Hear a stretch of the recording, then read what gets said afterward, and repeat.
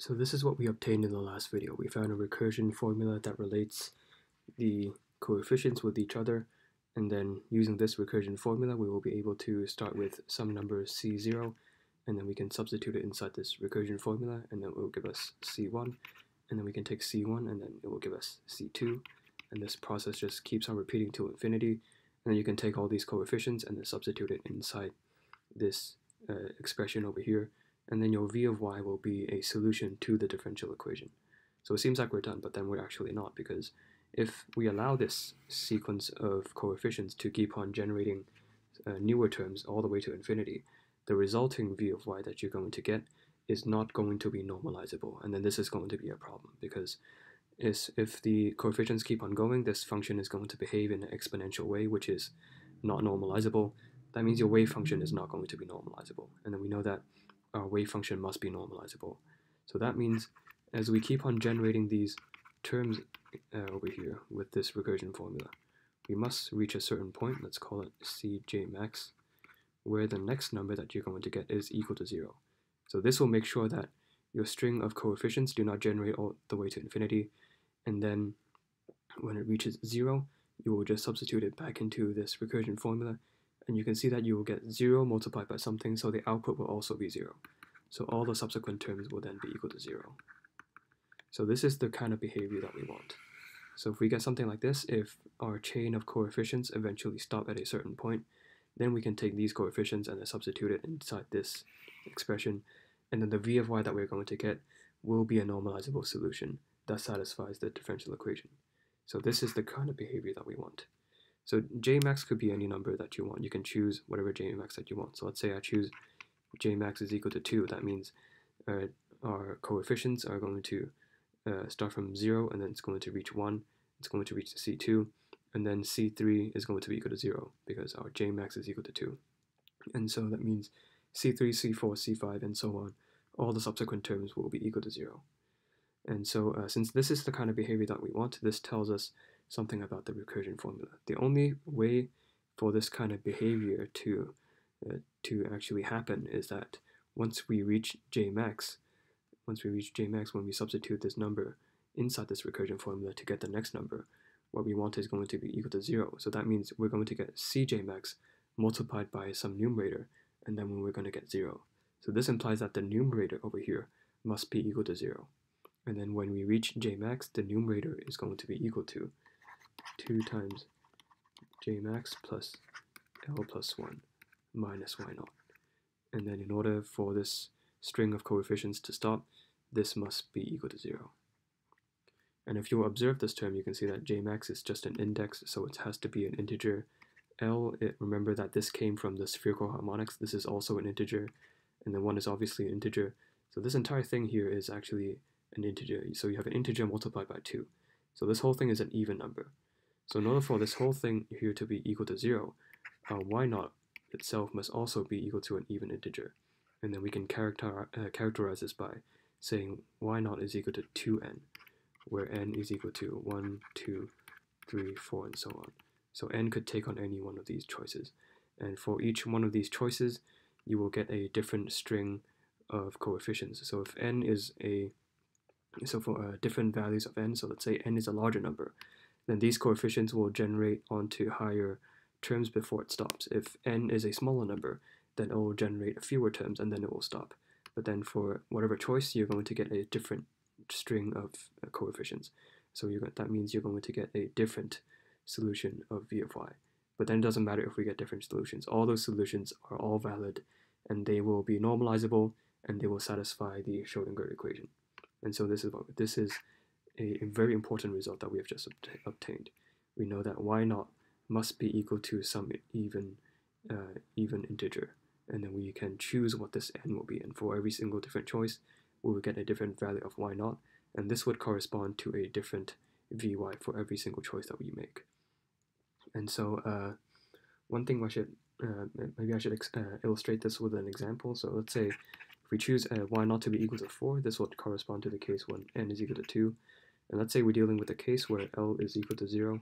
Once again, remember that this came from the spherical harmonics. So if you if you have a situation like this, then you're going to start generating your coefficients. You start from some number zero, and you get C1. And then once you get, get reach C1, you want to get C2. So what exactly is C2? So if you check the recursion formula, you'll see that C2 is equal to C1 multiplied by this term. And then the this numerator over here is going to be equal to 2 times uh, j plus l plus 1. In our case, j is equal to 1, and then l is equal to 0, and then you have plus 1. And then you have minus y naught. In this case, y naught is equal to 4. So you can see you can, this is equal to 2 times 2, so it's just 4 minus 4, so it's equal to 0. So that means C2 is going to be equal to 0, and that will mean that we have stopped this infinite chain of coefficients. So C2 is equal to 0, this means C3, C4, and so on, all the other terms will be equal to 0. And then now you can take, so only C0 and C1 are non-zero, and then you can take these coefficients and then dump them inside this term here, and then you will get a v of y that is going to be normalizable. So this is the whole process of uh, generating uh, generating solutions with this added restriction of y naught being an even integer. So this is how this whole process works. Uh, by restricting y naught to be an even integer, then you will get something like this. Your uh, your chain of coefficients will eventually stop at a certain point. And uh, I should also mention that you can see that this added restriction actually also imposes restrictions on the values that L could, could take on. So you can see that L cannot be too big. So if L is too big, then this uh, chain of coefficients will not stop. So this will never be evaluated to zero. So, and, and it's, e uh, it's easy to see why. So you can you can see that if so we can actually choose when uh, what our Jmax is going to be. We want we can choose when this chain of coefficients is going to stop. So let's say for a given, uh, given choice of Jmax, and then for a given choice of n, at a certain point, you're going to get something like this. So you get 2 times Jmax plus L plus 1 minus y naught, and in this case y naught is going to be equal to 2n for your corresponding choice of n, and this is going to be equal to 0. And so you can see that Jmax plus L plus 1 must be equal to n. And so you can see that L is equal to n minus 1 minus Jmax. So L is going to be equal to this expression over here. So for every different choice of Jmax, so for every different choice of where you want to end your chain of coefficients, you're going to get a different value of L. And the smallest value of Jmax is going to be equal to 0. So you can actually have your chain of coefficients to stop at the very point when it starts. So you get C0, and then it will immediately stop, immediately c1 is going to be equal to 0 and the rest of the terms will be equal to 0. So that will mean v of y is just going to be equal to one constant. So it is possible for your jmax to be equal to 0. And then for that case, you will get your largest possible value of L. So when jmax is equal to 0, you can see that L is equal to n minus 1. And you can see that for other values of jmax, uh, that is not 0. So let's say it's 1, 2, or 3. The L's that you're going to get are all going to be smaller than n minus 1. So you can see that this actually imposes a restriction on L. So recall that L actually came from the spherical harmonics. So back then when we were solving for the spherical harmonics, L didn't have any restrictions. It could be equal to anything at all. But now you can see that the normalizer, uh, uh, the normalization actually imposes this extra, uh, extra restriction on the values of L. So you can see that L can only go all the way up to n minus 1. So all larger values are not allowed.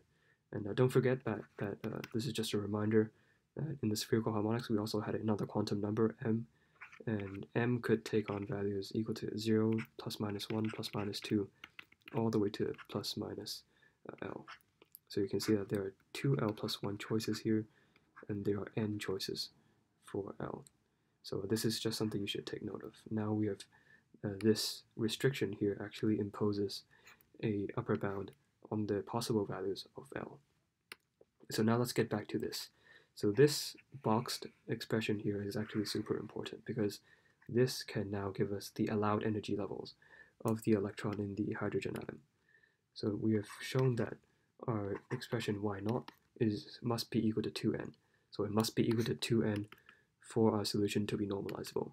And then n could be equal to 1, 2, 3, 4, and so on. It could take on any one of these values. And then recall what exactly is y naught. So y naught is a symbol that we defined. It's a shorthand for me squared divided by 2 pi epsilon h bar squared k. So this is, y naught is just a shorthand for all this. Remember we introduced this simplification in the first video, so this is just to save myself some time from having to write out all these symbols. And now we know that this, Oh, the, these symbols over here must be equal to 2n. And then don't forget that this k over here is actually related to the energy levels. k is equal to this expression. So now let's try to square both sides, and this would allow us to find what the allowed energy levels are. So by squaring both sides, we have m squared e to the power 4, 4 pi square epsilon square h bar to the power 4, and then we have k square, which is negative 2me divided by h bar square, and this will be equal to 4n square. And so now I'm going to dump the e over to the other side, and I'm going to dump the n square over to the bottom. And also you can see that some of these terms, they cancel out. So this 4, I'm going to bring it to the bottom, so we get 16, and then combine it with the 2, we get 32. We have h bar square here, so this becomes a square. So you can see that e eventually, so don't forget there's also a negative sign, so I'll put the negative sign here. So you can see that the allowed energy levels, e is going to be equal to negative me to the power 4, 32 pi square, epsilon square, h bar square, divided by 1 over n square. And I'm going to put a subscript n over here to reflect the n, and then this result here is actually very important. So this gives us the allowed energy levels of the electron. So for whatever choice of n, your so let's say n is equal to 3, then your allowed energy level is going to be equal, is going to be given by this formula. And this formula here is actually super, super important. And if you're interested, uh, this these constants over here is actually equal to 13.6 electron volts. And the reason why this uh, expression here is so important is because when Schrodinger uh, wrote down his Schrodinger, uh, wrote down his equation, he didn't know whether he was correct or not. So he just applied the case of the uh, electron in a hydrogen atom, and then he arrived at this these uh, this energy level formula over here. And this energy level formula has been known to scientists before the Schrodinger equation. Niels Bohr actually managed to obtain this formula using his uh, rather primitive model of a of an atom. So he was able to arrive at this expression as well.